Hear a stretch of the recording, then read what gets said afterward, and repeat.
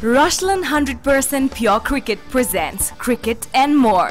Hello दर्शकबिन स्वागत छ Ruslaan hundred percent pure cricket presents cricket and मोरको यो अर्को एपिसोडमा क्रिकेट एन्ड मोरमा हामी राष्ट्रिय र अन्तर्राष्ट्रिय क्रिकेट जगतका तमाम गतिविधिहरूको चर्चा गर्ने गर्छौँ र यसै गरी क्रिकेटको रोचक गतिविधिहरूको त प्रस्तुति गर्ने नै गर्छौँ क्रिकेट जगतमा नेपाली क्रिकेट जगतमा लागेका विशेष व्यक्तित्वहरूकोसँग पनि कुराकानी गर्ने नै गर्छौँ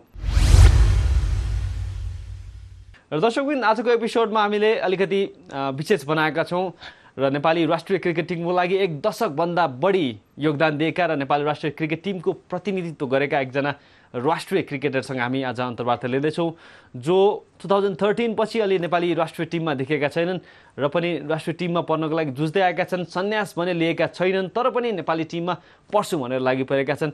तर पछिल्लो समयको कुरा गऱ्यौँ भने उनी त्यति विधि डोमेस्टिक क्रिकेट पनि खेलिरहेको देखेका छैनन्। टु थाउजन्ड सिक्सटिनमा इपिएलमा हामीले देखेका थियौँ राम्रै प्रदर्शन गरेका थिए। अन्तिमपल्ट बर्मुडामा नेपाली टिमको लागि खेलेका थिए। ICC world cricket league division three त्यसमा पनि राम्रो प्रदर्शन गरेका थिए। तर उनी पछिल्लो समय दुई तिन वर्ष नेपाली टिममा पर्न असफल रहे र कहाँ छन् उनी के गर्दैछन् त्यो बारेमा पनि त्यति हत्तपत्त छैनन्। उनी खेलाडी हुन् सञ्जम रेग्मी अफ स्पिनर नेपालका नम्बर वान अफ स्पिनरको रूपमा पनि चिनिने गर्छन् नेपाललाई जुन यो क्रिकेटको लेभलसम्म ल्याइपुर्याउन उनले महत्त्वपूर्ण योगदान दिएका छन्। उनी कहाँ छन् के गर्दैछन् को त हामी कुरा गर्ने नै छौँ र नेपालको क्रिकेटको अवस्था के छ? आइसिसी वर्ल्ड क्रिकेट लिग च्याम्पियनसिपमा हङकङसँगको खेलमा नेपालको प्रदर्शनबारे पनि चर्चा गर्छौँ। नेपाली टिमबारे तमाम गतिविधि हामी सञ्जम रेग्मीसँग यो एपिसोडमा कुराकानी गर्दैछौँ। स्वागत छ सञ्जमजी। Thank you uh, Sanjam Regmi लामो समयपछि नै मिडियामा आएको होला। अलिकति हराए पनि सञ्जम रेग्मी पछिल्लो समय र नेपाली क्रिकेटको कुरा गर्दाखेरि सञ्जम रेग्मीलाई अलिकति नलेज भएको खेलाडी पनि भनिन्छ र पछिल्लो समय चाहिँ सन्यास नलिइसकेपछि नि टिममा रेगुलर छैन र रेग्मी ड डोमेस्टिक क्रिकेटमा पनि त्य- त्यति देखेको छैन र कता हरायो भन्ने पनि छ। कहाँ के गर्दैछ अहिले अँ, पहिला त अब म हराएको छैन होइन। अब लास्ट टाइम इपिएल खेले अब डोमेस्टिक क्रिकेट नै हुँदैन होइन। बिचमा चाहिँ म बाहिर पनि गएको थिएँ होइन। त्यसपछि कमब्याक भन्नाले इपिएलबाटै कमब्याक भएको हो। अनि दोस्रो कुरा चाहिँ अब नेपालमा तिन वर्ष हो डोमेस्टिक क्रिकेट भएको छैन र अस्ति लास्ट टाइम जुन भयो फिफ्टी ओभर त्यसमा पनि रिजन जस्तो मेरो रिजन प्लस मध्यमाञ्चल एउटैमा पर्छ। सायद वीरगञ्ज भइदिएको म खेल्थेँ होला किनभने त्यो बेला पनि सेलेक्सन भएको थिएन प्रोसेस थिएन प्लेयर पिक भएर टिममा थियो। अब मैले त्यो बेला चाहिँ किचकिच गरिनँ किनभने टिमलाई कि मलाई राख भनेर मैले मतलब पनि गरिनँ खेलुन् भनेर। त्यसरी चाहिँ म हराएको छैन। अब सायद यसपालि अब इपिएल पनि हुँदैछ रजिस्ट्रेसन गरिसक्यो अब हेरौँ के हुन्छ। भनेपछि अझै पनि नेपाली क्रिकेटमा कमब्याक गर्ने सोच नै छ खेल छोडिसक्नु भएको छ? अब मलाई लाग्छ कुनै पनि न जस्तो नेपाल टिममा नपर्ने प्लेयर जसले हुन्छ त्यसले पनि सायद नेपाल टिममा पर्ने एउटा सोच राखेको हुन्छ। म त नेपाल टिममा परिसकेको मान्छे होइन। कमब्याक गर्नलाई पनि भन्न सक्नुहुन्छ एउटा सेटिस्फ्याक्सनको लागि पनि खेल्न आखिर एउटा सेटिस्फ्याक्सनको लागि पनि मान्छेले खेल्ने हो। र मलाई जहाँसम्म लाग्छ सन्यास किन लिनु पऱ्यो त्यो त लास्ट टाइम मेरो इपिएल प्रदर्शनले पनि देखाइसकेको छ। किनभने त्यो जति ठुलो इभेन्ट मलाई लाग्छ नेपाल क्रिकेटमा अहिलेसम्म भएकै थिएन। तर के भयो सञ्जय रेग्मीको करियर अलिकति एकदम अस्पष्ट पनि भयो। त्यति क्लियर पनि छैन। कसैलाई पनि के भयो भन्ने पनि छैन। अलिकति भित्रभित्रै अलिकति सञ्जय एक्लिएको हो कि जस्तो पनि छ। टु थाउजन्ड थर्टिन सायद बर्मुडा टुर पछि होला। अब जहाँसम्म लाग्छ मलाई के अरे त्यो कमी चाहिँ नेपाल टिमले पनि महसुस गरेको होला। होइन? किनभने रिसेन्ट टाइममा पनि अहिले हामी लेफ्ट आर्ममै खेलिरहेछौँ। जबकि अरू देशले चेन्ज गरेको छ हङकङले त अब आफ्नो लेफ्ट आर्मलाई हटाएर अफ स्पिनरलाई स्पिनर अफ स्पिनर ल्यायो त यो कुरा कस्तो हुन्छ भने एउटा प्ले एउटा मैले भनिहालेँ एउटा राम्रो प्लेयरलाई धेरै राम्रो बनाउने त्यो सिस्टम चाहिँ एउटा टिमले नै गर्ने हो। तर एउटा नराम्रो प्लेयर कहिले पनि राम्रो प्लेयर बन्दैन। एउटा यति याद हुनु एउटा राम्रो प्लेयर बरु धेरै राम्रो प्लेयर बन्छ तर एउटा नराम्रो प्लेयर कहिले पनि राम्रो बन्दैन। र अहिले पनि जुन नेपाल हारेको छ त्यसमा त्यही देखिएको छ। त्यसैले मैले भनिहालेँ अफ स्पिनरको जुन भ्यालु छ त्यो मलाई लाग्छ नेपाल टिमले चाहिँ लगभग त्यो हराएको जस्तो लाग्यो कि वर्ल्ड क्रिकेटले चाहिँ त्यसले क्याच गरिसक्यो होइन? प्रायः अफ स्पिनर हरेक टिममा हुन्छ। अफ स्पिनर हाइएस्ट विकेट तर नेपालमा के हो के मलाई थाहै छैन। अब आज अफ स्पिनर खेल्ने प्लेयर ओपनिङ ब्याटिङ गरिरहेछन् सागर पनि बलिङ गरेन उता अफ स्पिनरले पाँच विकेट लियो। अब कस यसले यो त अब क्याप्टेन र कोचले बताउन सक्यो मैले त बताउन सक्दिनँ। भनेपछि थर्टिनको जुन पिरियड आयो लेफ्ट आर्म स्पिनरको एउटा बाढी आयो भने एउटा ट्रेन्ड नै सेट भयो। त्यो बेला पछिको यसमा म- मारमा परेको सन्दर्भ भन्नु होइन होइन। लेफ्ट आर्म र उसमा फाइट होइन कि? कस्तो हो भने तपाईँ मेरो क्यारियरमा हेर्नु होला। म जहिले पनि लेफ्ट लेफ्ट आर्म आएर लेफ्टी ब्याट्सम्यान आउँदाखेरि मात्रै बलिङ गर्थेँ। चाहे युएससँग खेल्यो खेल्दा होस् त्यो के अरे हाम्रो के अरे कस्तो नाम बिर्छ मैले? नतकर्नीलाई बोलिङ गर्दा होस्। यहाँ धेरै रेकर्डहरू यस्तो बनाएको छन् जुन मान्छेलाई थाहा छैन कि मेरो कारण मैले कति हेल्प गराएको छु क्रिकेटमा। मैले जब सुशील नतकर्नीको विकेट लिएँ मैले ओभर छोडिदिएँ राहुलले सात विकेट लियो। तर त्यो एक विकेटको भ्यालु कसैलाई थाहा छैन। मैले एक विकेट लिएँ लेफ्टीको त्यसपछि शक्ति गौचनले ह्याट्रिक लियो। यो कसैलाई थाहा छैन। किनभने त्यो ह्याट्रिक नलिँदाखेरि शक्ति गौचनलाई बलिङ पनि पाएको थिएन। किनभने उनको लागि त्यो लेफ्टी ब्याट ब्याट्सम्यान गाह्रो हुन्छ। होइन? म सबैलाई थाहा छ कि लेफ्ट ह्यान्ड ब्याट्सम्यान त मेरो एक दुई ओभरमा पनि लगभग मैले जति म्याच खेलेको छु लेफ्ट ह्यान्ड ब्याट्सम्यान छैन। तर मलाई मलाई चाहिँ उनीहरूले ज्यादा लेफ्ट आर्ममै युज गरेँ कि। मलाई एज ए जर्नल अब अफ स्पिनर भयो मैले राइट ह्यान्ड ब्याट्सम्यानलाई चाहिँ कम बलिङ गराएको छु आफूलाई सबैलाई थाहा छ एभ्रिबडी नोज कि सन्दीप रेग्मीको महत्त्व के थियो टिममा भन्दाखेरि जुन ब्रेक थ्रु दिलाउँथ्यो र इम्पोर्टेन्ट कुनै विकेटहरू झार्न सक्थेन भने सन्दीप रेग्मी आएर विकेट दिलाउँथ्यो। तर थर्टिन पछिको पिरियडमा त्यो सन्दीप रेग्मीको करियर एक्कासी स्टप भयो। डोमेस्टिक क्रिकेटमा देखियो तैपनि एकदम कम देखियो। र पनि टिममा कमब्याक गर्ने अवसर पनि थियो। के भएको त्यो पिचको पिरियडलाई चाहिँ अलिकति अलिकति डिस्क्राइब गर्नुहुन्छ? मलाई जहाँसम्म त फिफ्टी ओभरमा डिजर्भ गर्थेँ। दुई तिन म फोर्टिन न्युजिल्यान्ड जा जाँदा टिम जाँदा पनि डिजर्भ गर्थेँ। इभन म सिङ्गापुर त्यो बेला तुरुन्तै गएको थिएँ फिफ्टी ओभर त्यो बेला डिजर्भ गर्थेँ। म टी ट्वेन्टीमा चाहिँ अहिले पनि भन्छु म डिजर्भ गर्दिनँ। तर अब इपिएल जस्तो टुर्नामेन्ट जुन हाम्रो देशभित्र जो डोमेस्टिक खेल्छ त्यसमा त अब तेन्दुलकर जस्तो प्लेयरले त खेल्यो भनेपछि अब हामीले खेल्दिनँ भन्न त भएन नि होइन? त्यसैले मलाई लाग्छ कि टी ट्वेन्टीमा त अब नेपाल टिमले मलाई राख्छ राख्दैन त्यो मतलब मलाई मतलब छैन। तर अब हेरौँ न बुढो बुढो खेलाडी त आइपिएलबाट कमब्याक गर्छन्। होइन? भनेपछि अब त अहिले क्रिकेट कस्तो भएपछि सबले सबै खेलबाट कमब्याक गर्न सक्छ क्या। यो त अब टिम र कोचको भर पर्छ किन उनीहरू अहिले सेलेक्सन गरिरहेको छन्? भनेपछि सेलेक्सन भन्नुभन्दा सेलेक्सनकै कारणले गर्दाखेरि टिममा नपरेको म डिजर्भ दोष मैले दोष कसैलाई पनि दिन्न कि उनीहरू पनि रिलाइज होस् कि अब मैले कति डिफ्रेन्स गर्न सक्थेँ भनेर। किन उनीहरूलाई थाहा छ नि त मेरो योग्यता भनेर। बर्मुडामा डिभिजन थ्रीमा नेपाल जित्दा जित्दाखेरि भनौँ न त्यो गर्दाखेरि त सञ्जु रेग्मीको इम्पोर्टेन्ट रोल पनि थियो त्यसमा। मैले त एउटा म्याच कम खेलेको थिएँ। जुन युगान्डासँग हारेँ होइन म्याच म खेलेको थिइनँ। है अब कतिजनालाई थाहा छैन मेरो त मैले सेकेन्ड हाइएस्ट विकेट एउटा म्याच कम खेलेर म सेकेन्ड हाइएस्ट विकेट सायद फर्स्ट हाइएस्ट त म बिर्सेँ किनभने सायद बसन्त या बसन्तै बसन्तै हो हुनसक्छ तर त्यो बेला राहुल पनि थियो। त्यो एउटा किनभने हाम्रो एउटा बलिङ चाहिँ युनिट राम्रो थियो कि त्यो बेलासम्म। राहुल थियो म थिएँ शक्ति थियो होइन? र दर्शक सञ्जम रेग्मीसँगको कुराकानीलाई हामी जारी नै राख्नेछौँ तर एकैछिन छोटो कमर्सियल ब्रेकपछि।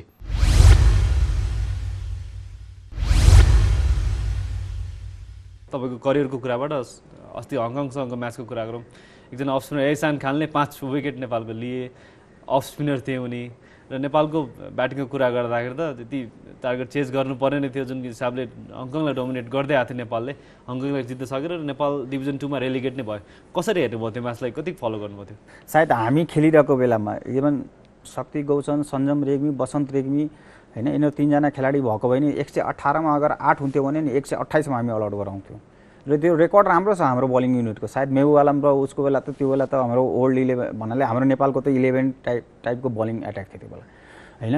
एक सय एक सय अठारमा आठ एक सय अस्सीमा आठ भयो। भन्नाले स्ट्राटेजी नै गल्ती भयो कि म क्याप्टेनलाई पनि गल्ती गल्ती मान्दिनँ। किनभने बलरको पनि स्ट्राटेजी हुन्छ क्या त्यो बेला। किनभने सिनियर टिमको बलरलाई त क्याप्टेनले त फिल्डिङ प्लेस गर्दैन। होइन? एउटा गल्ती के भयो भने मैले हेरेको जस्तै बसन्तलाई लास्टको दस ओभरतिर गराउनु पर्ने बलिङ थियो कि? सोमपाल त ठिक छ ल अहिले सिनियरै बलर जस्तो भइसक्यो होइन उसले बलिङ गर्दा फरक पर्दैन होइन? अनि तर के अरे हाम्रो सुशान्त भारीलाई पहिले नै सकाइसक्नु पर्थ्यो ओभर र बसन्त लास्टतिर ला दस ओभरमा बलिङ गराउनु पर्थ्यो। एउटा नयाँ बलरलाई डेथ ओभरमा फ्यालेपछि त्यसले त्यो गेन कहाँबाट ल्याउँछ? सबै प्लेयरको आफ्नो आफ्नो गेम छ के? तर मैले के हेरेको छु भने जस्तो मैले जति प्लेयर हेरेर चिनेको छु नि पारसको गेम स्पिनरमा कम्फर्टेबल छ कि?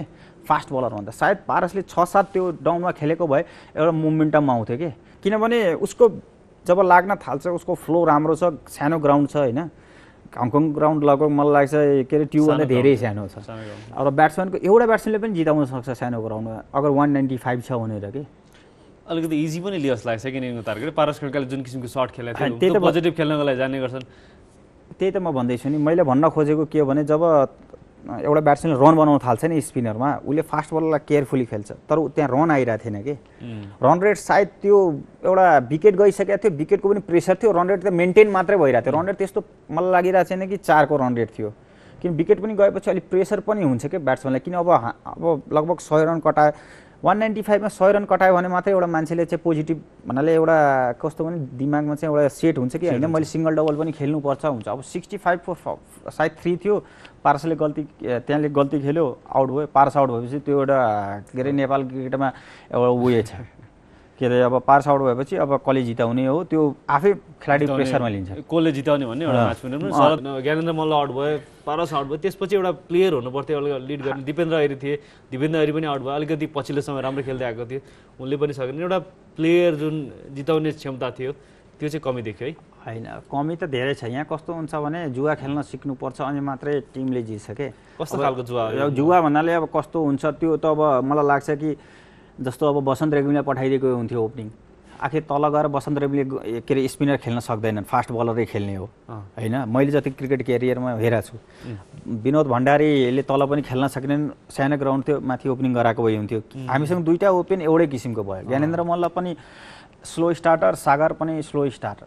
होइन? सागरको त अब कुनै बेला के हुन्छ थाहा पनि हुँदैन। होइन? किनभने हामीलाई थाहा छैन। तर हामीले भन्न खोजेको एटलिस्ट कुनै प्लेयरलाई जस्तो प्रेस जस्तो यति याद गर्नु जो प्लेयर फ्लप छ भने त्यसलाई बेस्ट अप्सन भनेको ओपनिङ गराउनु हुन्छ अरे के? वर्ल्ड क्रिकेटमा सबैले त्यही भन्छ। अब प्रेसर भएको प्लेयरलाई हामी नम्बर सेभेनमा रन बनाउ नम्बर सेभेनमा रन बनाउँदैन। सबभन्दा डिफिकल्ट काम नम्बर सेभेनमा रन बनाउने। नम्बर सेभेनमा हामी ब्याटिङ गराउँछ। अनि बिचरा त्यो त अब सुसाइड गराए जस्तै हो। एउटा क्याप्टेनको रूपमा पारस खड्का पनि त्यति बिधि रिस्क टेकर होइनन् त्यसो भने भन्नु होइन मैले भने नि रिक्स टेकर रिक्स टेकर भन्नाले अब कस्तो हुन्छ एउटा लेभल टिममा पनि चेन्जेस छैन धेरै छ विनोद भण्डारीलाई खेलाइरहेछन् सागर पुन भयो। एउटा टिममा कन्टिन्यू गरिरहेछन् फर्मबाट आउट भए पनि खेलाइरहेका छन्। त्यो हिसाबले गर्दाखेरि चेन्जेस पनि फेरि टिममा ब्याटिङ लाइनअपमा पनि चेन्ज गर्न अलिक गाह्रो माने। फेरि सागर ओपनिङमा फेरि कन्टिन्यू गराउनु। त्यही त भनिरहेको छु। मैले नेपालमा जस्तो एउटा प्लेयर अहिले छुटिरहेछ होइन मैले ट्यालेन्टेड भएको प्लेयर त्यसले नेपाल टिममा खेल्दैन होइन पृथ्वी बास्कोटाको कुरा गर्छु होइन मैले यहाँ किन याद गराएको भने जसरी पृथ्वी बास्कोटालाई मान्छेले हेट गर्थे नि ए भएन फ्लप हो। पृथ्वी बास्कोटा पनि बिचरा कहिले पनि ओपनिङ गर्न पाएन। त्यही नम्बर सेभेनमा खेल्यो त्यही सकेन डेथ. टिममा पनि छैन। विनोद भण्डारी पनि त्यही हो हामीले वर्ल्ड क्रिकेटमा हेर्नु नम्बर सिक्सको ब्याट्सम्यान खेल्दै खेल्दै खेल्दै माथि गएर टप ब्याट ब्याट्सम्यान हुन्छ. यो संस्कार होइन भने नेपालको ब्याटिङ कसरी सुध्रिन्छ? ज्ञानेन्द्र मल्ल नम्बर सिक्सबाट स्टार्ट गरेर आज ओपनिङ गरेको होइन. वर्ल्ड क्रिकेटमा सेन वाट्सनले स्टार्ट गरेर माथि गरेको होइन। अनि उनीहरूले चाहिँ डिजर्भ गर्दैन. विनोद भण्डारी त डोमेस्टिकको ओपनिङ ब्याट्सम्यान हो। पहिलो कुरा मैले डिफेन्ड गरेर भने होइन कि एउटा प्लेयर त नम्बर सिक्समा खेलेर ओपनिङ गर्ने सागरपुर नम्बर सिक्स खेलेर सबै डाउनमा खेल्न सक्छ भने एउटा नम्बर सबै सेभेनको ब्याट्सम्यानले चाहिँ सबै डाउन खेल्न सक्दैन. त्यो कारणले मैले भन्न खोज्छु कि हाम्रो स्ट्राटेजी गल्ती छ स्ट्राटेजी किन गल्ती छ भनेपछि सबै वर्ल्ड क्रिकेटमा रो के अरे Rohit Sharma number six seven खेलेर आज ओपनिङ ब्याट्सम्यान भएको होइन. सेवाग नम्बर फोर खेलेर ओपनिङ भएको होइन अनि हामी चाहिँ एउटै प्लेयरलाई जिन्दगी एउटा ठाउँमा खेलाउने अनि फ्लप भयो भयो. भोलि सोमपाल के अरे भोलि सोमपाल आज ब्याट्सम्यान खेल्यो भने पनि हामी त्यहीँबाट खेलेर स्टार्ट गरिदिन्छौँ। सोमपालले बलिङ छोडिदिएला ब्या ब्याट्सम्यान भइदिन्छ। अनि यो यो क्रिकेटले अब नेपाली टिम अगाडि पर्छ यो त हुँदैन यो त मैले भनिहालेँ जब तक हामीले चाहिँ कस्तो भने नि एज अ ब्याट्सम्यान कोही खेल्छ राम्रो खेल्दै उसले ब्याटिङ अर्डर माथि गयो उसलाई सोध्नु पऱ्यो तिमी कुन ब्याटिङ अर्डरमा गर्छौ। अनि मात्रै ब्याटिङ। यो होइन कि अब ज्ञानेन्द्र मल्लले ओपनिङ गर्ने पारसले टू गर्ने शरद आयो भने वान गर्ने। त्यो होइन नि यङ प्लेयरलाई पो कम्फोर्ट जोनमा खेलाउनु पर्ने हो। प्रेसरमा त यो म्याच्योर्ड खेलाडीले पो खेल्ने हो। दर्शकबिन सञ्जम रेग्मीसँगको अन्तर्वार्तालाई हामी जारी नै राख्नेछौँ। एकैछिन छोटो कमर्सियल ब्रेक ब्रेकपछि पुनः उपस्थित हुनेछौँ।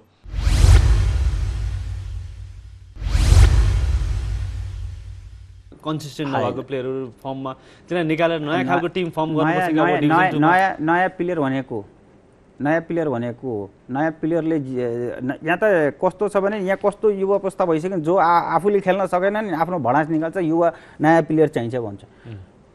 त्यो नयाँ प्लेयर भनेको को? पर्फर्मेन्स गर्ने प्लेयर पो उम्, चाहिने हो। नयाँ प्लेयर चाहिने हो हामीलाई। नयाँ प्लेयर होइन। अहिले अहिले गएको टिममा सुशान्त भारी यिनीहरू नयाँ प्लेयर होइन। के अब नम्बर चौधैसम्म नयाँ प्लेयर सौरभ खनाल जस्तो खेलाडी हो सौरभ खनाललाई अब म यसमा भन्छु। सौरभ खनालमा के भन्छ भने अब सौरभ खनाल ट्युमा मजाले कतिवटा छक्का हाने। हङकङको ग्राउन्डमा कतिवटा छक्का हान्न सक्थे। सानो ग्राउन्डमा कति फाइदा लिन सक्थे। त्यो त ठुलो मिस्टेक भएको छ। मैले भनिहालेँ नि यहाँ मनमा के कालो छ त्यो पत्ता लगाउनु जरुरी छ कि मेन कुरा? सौरभलाई किन टिममा राखेनन्? होइन? एटिनभित्र पनि हो त्यही मैले भन्न छु। एटिनभित्र पनि किन राखेन त्यो त उनीहरूलाई थाहा छ नि। अब हामीले त जे पनि भन्न सक्छौँ नि। के सिक्नुपर्छ नेपालले यो हारबाट के सिक्नुपर्छ? र अगाडिको अब डिभिजन टूमा पुगिसक्यो अ, पुगिसक्यो नेपाल रेलिगेट भइसक्यो। अब यो हारबाट के पाठ सिक्नुपर्छ नेपाल नेपालले स्ट्राटेजी बनाउन सिक्नुपर्छ ताकि हाम्रो जुन जुनियर प्लेयरहरू छ जो खेलिरहेछ उनीहरूलाई कम्फोर्टेबल हिसाबमा ब्याटिङ गर्नु पर्यो। यो होइन कि सिनियरले चाहिँ अब म ओपनिङ गर्छु जुनियरले तल खेल्नु। जुनियरले प्रेसर जुनियर भनेको त एउटा अपग्रेड भएर खेल्ने हो नि। उनीहरूलाई त मिनिमाइज प्रेसर दिनु पर्यो नि। फास्ट बलर हो र उसलाई त खेलाउनु पर्छ उसले त सिक्ने नै ओपनिङ बलिङ गरेर हो नि। तर कहिले के के हुन्छ सिनियर प्लेयर हुन्छ भने सिनियर बलर छ भने उसले गर्छ अनि एक दुई विकेट गइसक्यो या आफ्टर टेन ओभरपछि चार प्लेयर आउँछ उसले त्यसपछि बलिङ गर्छ। होइन हाम्रो त फास्ट बलरै कम हुन्छ स्पिनरै ज्यादा दोष कसको त होइन स्ट्राटेजी चेन्ज गऱ्यो भने दोष कसैको हुँदैन स्ट्राटेजी चेन्ज गरेपछि यो सबैको दोष हो एउटा प्रशिक्षक पनि कमी हो कि राम्रो होइन। क्याप्टेन क्याप्टेनको हेर्नु? क्याप्टेन प्रशिक्षक सबै यो अब स्ट्राटेजी त कोचले नै बनाउने हामी खेल्दा त कोचले बनाउँथ्यो है म झुटो अब के। यसमा झुटो बोल्ने केही छैन तर स्ट्राटेजी बनाएर खेल्नुपर्छ कि बिना स्ट्राटेजी बनाएर क्रिकेट खेलेर कामै छैन एउटा फर्मेट छ जुन त्यही खेलिरहने होइन आज अब। हिजोको म्याचमा हेरौँ न विलियमसन आउट चाँडै भयो त्यो पनि म्याच जितायो जिताएन टु एटी। होइन स्ट्राटेजी विलियमसन आउट। हामीलाई थाहा छ विलियमसनले रन बनाउनु पर्छ भन्ने थियो पहिला। खोइ त हिजो त बन्द गरिदियो न्युजिल्यान्डले त। हँ? न्युजिल्यान्डको टिमले अस्ट्रेलियाभन्दा राम्रो खेल्यो। पहिलो वान डे थियो। होइन? त्यसैले क्याप्टेन नचलेर पनि प्लेयर चल्नुपर्छ के चेन्जेस हुनुपर्छ नेपाली टिममा? चेन्जेस यस्तो हुनुपर्छ। अलराउन्डर बन्न सजिलो भयो जस्तो लाग्यो क्या नेपालमा। सबभन्दा अलराउन्डरको ट्याग हटाउनु पर्छ जेन्युन बलर हुनु पर्यो जेन्युन ब्याट्सम्यान हुनु पर्यो अलराउन्डरको ट्याग हटाउनु पर्यो। यहाँ कस्तो हुन्छ भने नि जस्तो म एउटा सानो इक्जाम्पल दिन्छु।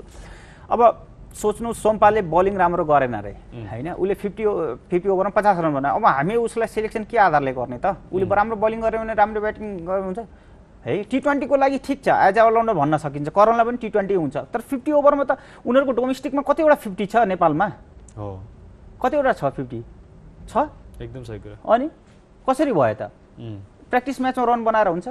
भने नेपाल डिभिजन टूमा छ अब अगाडि बढ्ने नेपालको प्रयास त अझै पनि छ किनकि अझै पनि वर्ल्ड कप क्वालिफाई त खेल्न। पाउँछ अझै पनि भविष्य त नेपालको त्यति बिग्रिसकेको छैन। तर पनि धेरै चेन्जेसहरू आवश्यक छ नेपाली टिममा भन्नुहुन्छ सञ्जनजी। मैले चेन्जेस आवश्यक छैन फेरि। मैले भन्न खोजेको चेन्जेस दिमागबाट छ क्या। जस्तो एउटा कुरा याद गर्नु होल सिस्टममा बिस पच्चिसजना नै प्लेयर सिनियर टिमको लागि डिजर्भ गर्छ कि? पचास सयजना प्लेयरको पुल हुँदैन। है? एउटा कुरा यो कति कुरा चाहिँ हामीले खेल्दा खेल्दा अहिले मलाई फिल फिल भएर म भनिरहेको छु कि होल क्रिकेट सिस्टममा हेर्नु होला इन्डियामा पनि बिस पच्चिसकै पुल हुन्छ कि? त्यो पचास सयको पुल हुँदैन। एउटा कुरा याद गर्नु होला। मैले भन्न खोजेँ यो त अब हामीले बिस्तारै बिस्तारै सिक्दै जान्छौँ अनि हामीलाई थाहा हुन्छ कि यो कुरा? है? अब जस्तो अब मैले भने नि अब हामी अगर डिभिजन टूमा बसिरह्यो भने हामीले इन्टर कन्टिनेन्टल कप आउँछ अनि त्यसपछि चाहिँ कसले बिस पच्चिस ओभर खेल्ने बलर चाहिएन हामीले ओके होइन? त्यसैले हामीले अब मैले भने हाम्रो अहिले एम भने डिभिजन टू जित्ने एटलिस्ट त्यो भयो भने इन्टर कन्टिनेन्टल कप खेल्न पाउँछ। इन्टर कन्टिनेन्टल कप भनेको लगभग फोर डे टेस्ट हो। फोर डे टेस्ट खेलेपछि हाम्रो ब्याट्सम्यान जति ओभर खेल्छ त्यसपछि पक्कै पनि हाम्रो टिम राम्रो हुन्छ। अब चाहिँ के छ? सन् अब अन्तिम क्वेसन गरौँ। सञ्जम रेग्मीको चाहिँ फ्युचर के छ? होइन मैले त अब भने म जस्ट अहिले थर्टी थ्री भएँ है? अब स्पिनरहरूले कति खेल्छ क्रिकेट अब हाम्रो देशमा त टेस्ट क्रिकेट हुँदै हुँदैन होइन? अब इन्टर कन्ट्री कप खेल्यो भने त पक्कै पनि इन्टर कन्ट्री गेम खेल्नलाई अब उनीहरूले अब होइन? अब जसम्म लाग्छ मलाई चाहिँ अब मैले थ्री डेमा पनि मेरो सोह्र सत्र म्याच खेलेको छु मैले होइन? अब म त लङ आवर बलिङ गर्ने प्लेयर हुँ फिफ्टी ओभरको प्लेयर हुँ टी ट्वेन्टीभन्दा भनेपछि सञ्जम रेग्मी अझै पनि कमब्याक गर्ने प्रयासमा छ। फिटनेस त्यसको लागि इस्यु हुन्छ हुँदैन। फिटनेस होइन, फिटनेस त अब भन्नाले एउटा यस्तो फिटनेस भनेको त म कसरी लिन्छु भने अब हामीले खाना खान्छौँ होइन? पानी खान्छौँ। म त्यसरी सोध्छु पानी पिया जस्तै हो फिटनेस भनेको। होइन अब बलिङ गरेपछि त त्यो हिसाबले त जस्तै टी- क्याम्पमा परेपछि पक्कै पनि त्यो त्यो हिसाबमा त मान्छेले त्यो हिसाबको अब एउटा कुरा याद गर्नु होला लाइफमा फिटनेस इस्यु कहिले पनि हुँदैन। यो फिटनेस चाहिँ अब वर्ल्ड क्रिकेटमा हेर्नु होला जसले पर्फर्मेन्स नराम्रो गर्छ त्यो प्लेयर मात्र बाहिर हुन्छ। फिटनेस इस्यु हुँदैन। ओके भनेपछि सञ्जम रेग्मी नेपाली टिममा आउन अझै पनि। एबल छ र अब अझै पनि सम्भावनाको हिसाबले सकेको छैन सञ्जम रेग्मीको भन्न चाहनुहुन्छ? होइन मैले मैले त्यो भन्न खोजेँ होइन कि म नेपाल टिममा मलाई राखिरह मैले पर्फर्मेन्स गर्छु त्यो हिसाबमा उनीहरूले चाहिँ अब मेरो फिटनेसमा इस्यु धेरैचोटि लगाइसकेका छन् होइन। मैले भन्न खोजेँ मलाई एटलिस्ट क्याम्पमा राख। त्यो मलाई लाग्छ भने म डिजर्भिङ छु भने राख डिजर्भिङ छैन भने नराख। लास्ट टाइम मैले खेलेको थिएँ तपाईँलाई थाहा छ पिएनजी जानुभन्दा अगाडि। धेरैजनाले क्रिटिसाइज पनि गरे मेरो क्षेत्रको खेलाडी गएको छ अहिले कहाँ छ त्यो कसैलाई थाहा छैन। होइन? नेपालको जेन्युन अफिसर भएर म पछि ऊ नै गएको थियो। त्यो आफै सबैलाई थाहा छ नि को प्लेयरले त्यहाँ कति म्याच आखिर दुइटा म्याच क्लोजै हारेछौँ हामीहरू। होइन?